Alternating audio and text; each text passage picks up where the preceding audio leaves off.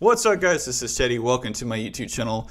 This video we're going to be talking about the where clause and this video is going to be everything that you need and nothing that you don't need. The where clause is another one of those uh, SQL commands that is one of the most important and one of the most common that you're ever going to see in your career as a software developer or an analyst and it's another one of those videos that if you don't pay attention to any of my other videos, make sure you watch the one on select, make sure you watch the one on where, make sure you watch the video on joins, and that's all you're going to need. And I'm going to show you all the the uh, where um, combinations that you need, and I'm not going to show you like any of the other ones that are kind of just you know good to know. These are all things like you have to, you need to know these. Uh, as a software developer or data analyst. But uh, nonetheless, let's actually get in here and let's just actually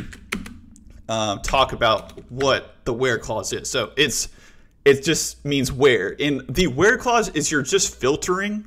It's almost like you're making your own little search engine for your data. Whenever you think where, think that you're either filtering or searching data. You're almost like Google in terms of your inputting operators and logic in order to get certain types of data back. With the select clause, you're trying to get all your data back, but with the where clause, you're only returning data that you want. And it's very simple.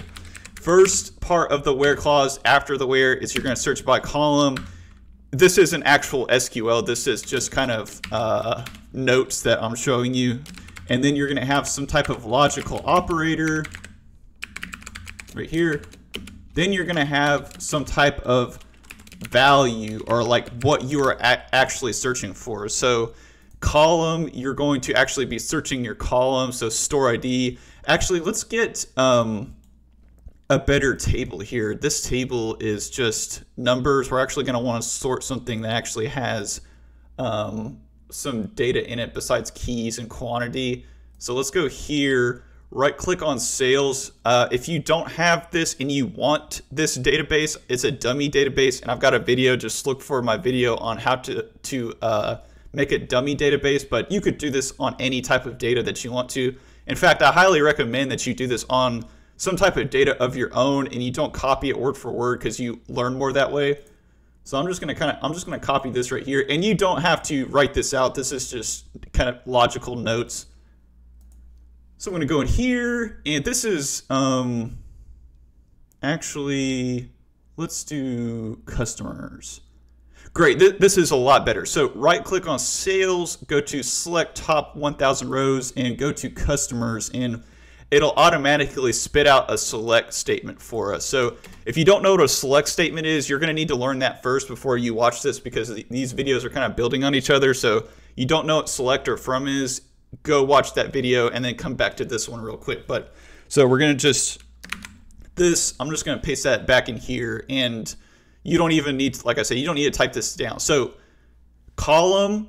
Whenever you do a where clause, you're going to do a column first. So you have to specify where you are doing your filter. And for this one, let's just say we want to filter by the state like that. So that would be the very first one. That's the very first thing that you put in there. You're going to put your column.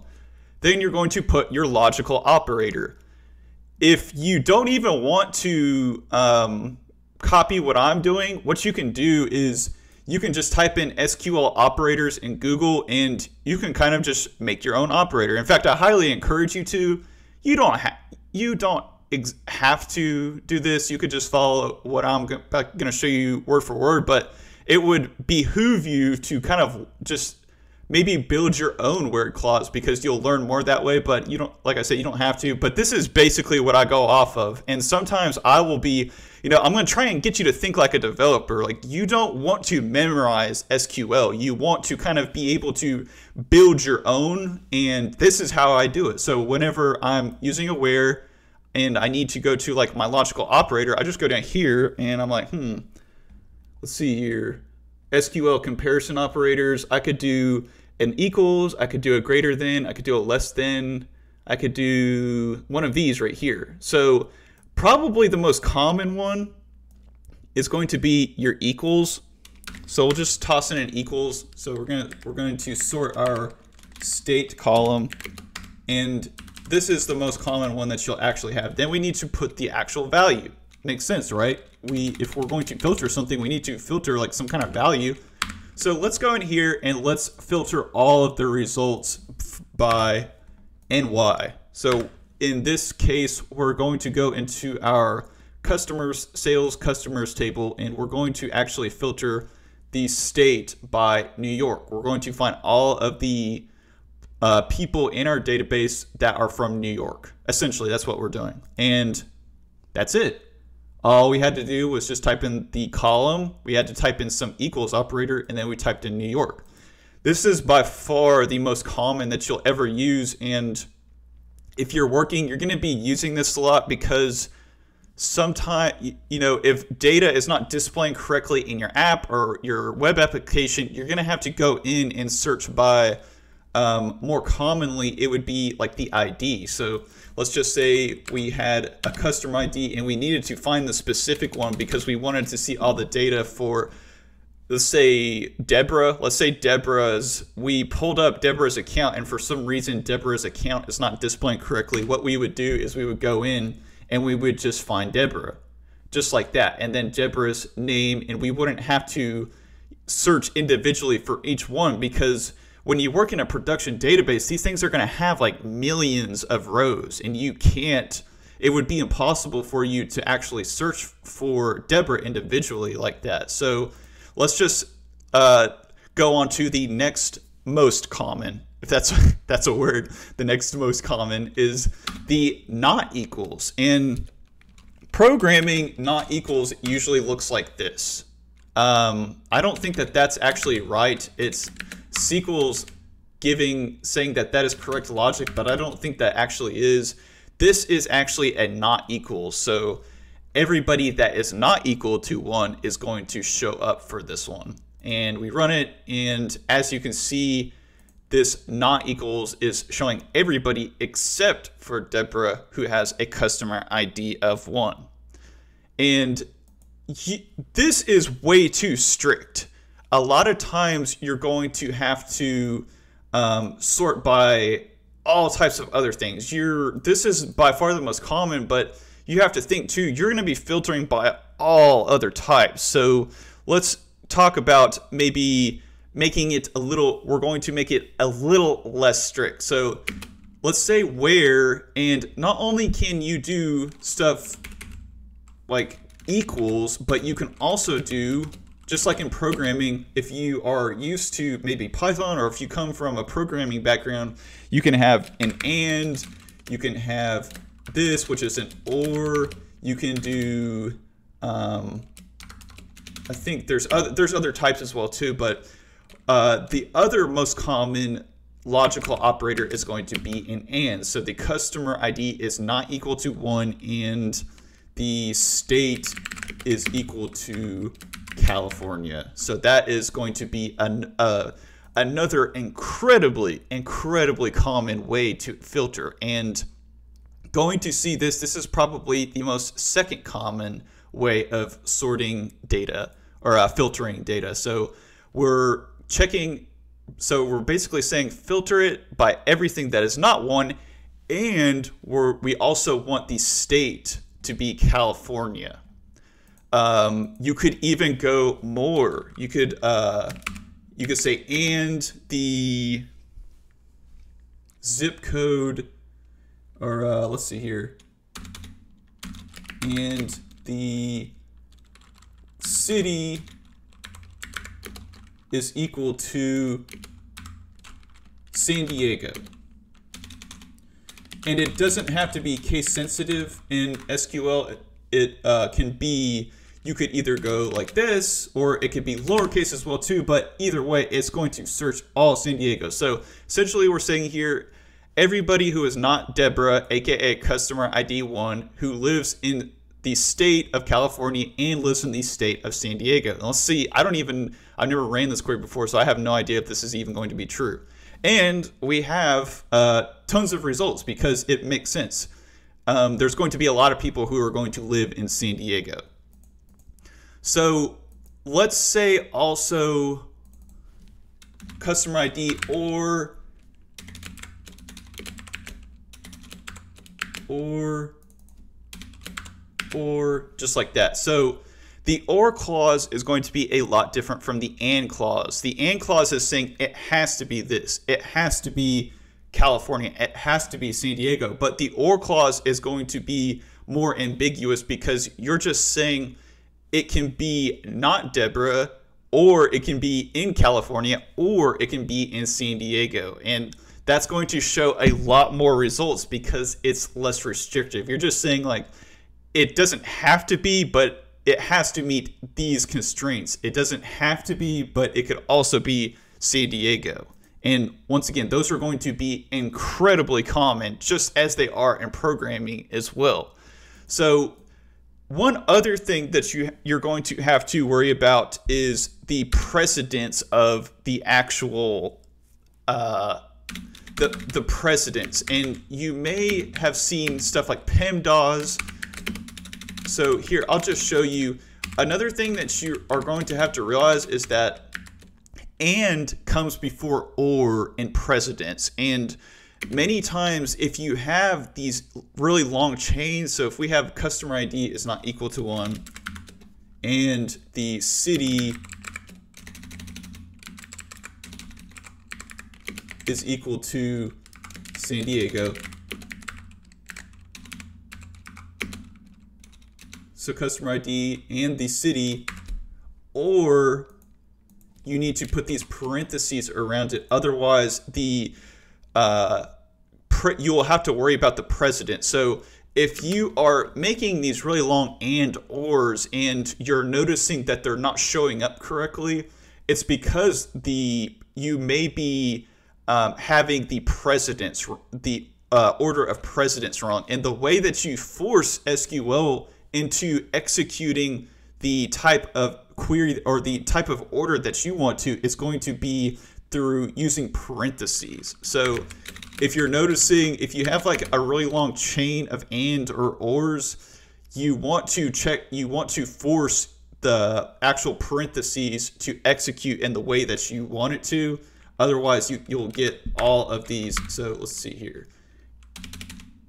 And the street or the phone is equal to null. I'm, I'm noticing here we have like a lot of nulls. And phone is not null. So what it's going to do here is it's going to evaluate this one first or is not null. So if this one does not evaluate to true, it will evaluate the or or the phone is not null. And this isn't probably the most realistic example, but I hope it just drives the point home that whenever you're using all these ands or ors, you just have to realize that the and is first, uh, or and the or is going to come after. And if it's not evaluating the right way that you want to, and it's or maybe it's evaluating like this. So if it's just evaluating or city is like this, that's when you want to put your parentheses in there so that it evaluates in the way that you want to. Otherwise, you'll get crazy evaluations and you won't know what's going on. So that is going to be the majority of how you're going to chain all these where clauses together. But I'm also going to give you some very real world tips for when you're actually trying to search for stuff and you can't find stuff. So let's just say you're searching for cities or you're searching, let's just do phone numbers actually. I think phone numbers is actually, you want to search for phone numbers and you want to search for phones in a, you want to search for a particular type of phone number.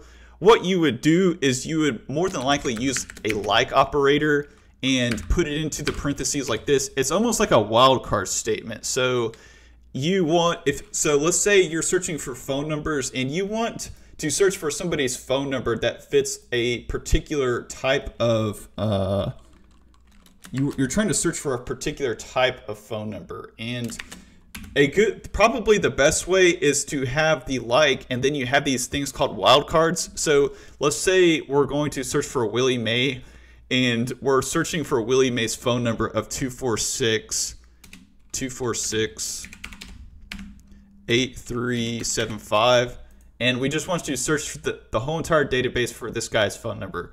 That's what you would do. You would have the wildcard statements, and basically, this wildcard statement is saying anywhere within this column, search for this phone number, and if anything within that phone number actually matches it, show it.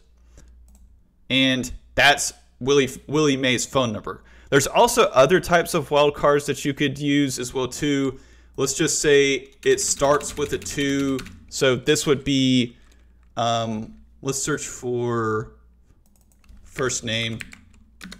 And we want to find every single first name that starts with a W or a capital W and just starts with a capital W. And that's how you would do it right there. That's basically the wildcards way of saying everything that starts with a W, show it and every single first name that starts with the W is going to show that first like statement. And you can also do it the other way around. So everything that ends with an E, show it. And that's pretty much it. The last thing, and this is a very common one, and this is definitely one that you're going to want to know, is you're going to want to search for is not null. So whenever you're searching for database, whenever you're searching through a database, a lot of times columns will allow you to have nulls. And if you what if you are searching through stuff, a lot of times you don't want the nulls. So let's just say you're going to select all of these rows and you're going to show all the phone numbers that are not null. So we have like a bunch of people who don't have phone numbers here.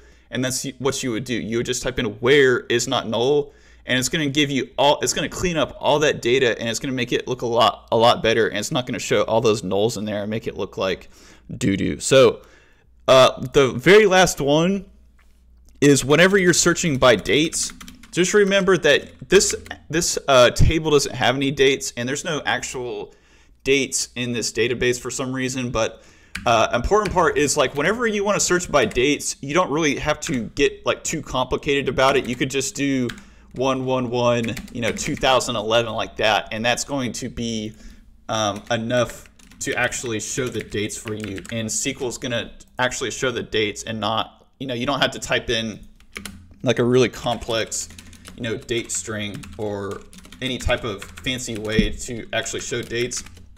If you just can kind of get those first three letters in there, just like a normal date as you would see in the United States or whichever date that you you have, that's going to be 99% of it. And that's really 99% of the where clause. That's pretty much all you're going to need to know if you're a software developer or if you're some type of data analyst. And you're really not going to have to know much more than that. If you want anything more complicated, you could just Google it. But like I said, don't get too carried away. Just know the fundamentals. And if you need anything more complex, just Google it.